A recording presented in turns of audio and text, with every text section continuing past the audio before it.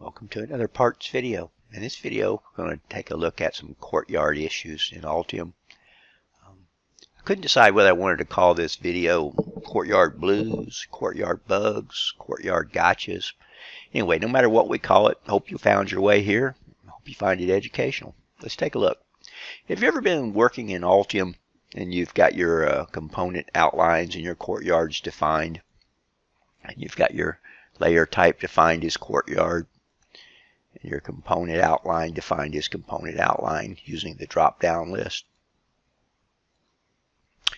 And if you check your selection filter, you'll see that we've got components enabled. In fact, we've got everything enabled.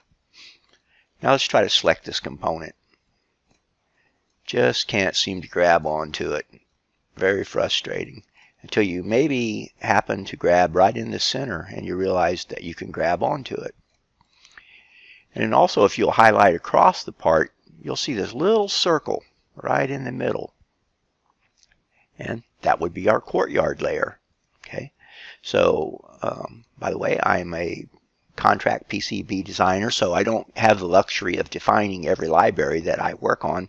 Um, when you're working on a customer's board, um, you can't always uh, go back, push back on the customer and tell them that uh, they are got library problems, you can make suggestions. Um, but you may have to work within the boundaries of what they've given you. And so in here, I've got a situation where very difficult to select a part. Here's our workaround. At least for this project, we'll change the courtyard type to NA, not applicable.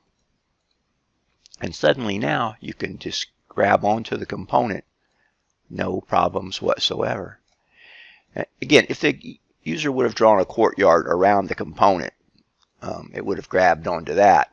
Um, but anyway, a good workaround is to just go in to your courtyard, turn layer type to NA, and you'll be able to grab your parts again. Hope you enjoyed that tip. You might also be interested in taking a look at a, an Altium script I call mech layer tools that I created um, that can help you to unpair a component pair and um, without having to delete any primitives. Um, anyway, it's a nice little tool. If you're trying to rearrange your component pairs, I'd suggest you take a look at using it. I think it'll help you out. Anyway, thanks for watching the video. Have a great day. I'll leave a link down below where you can find your way over to the script. You can find it over at PCBpartsblogspot.com. I'll leave that link down below. Thanks for watching the video.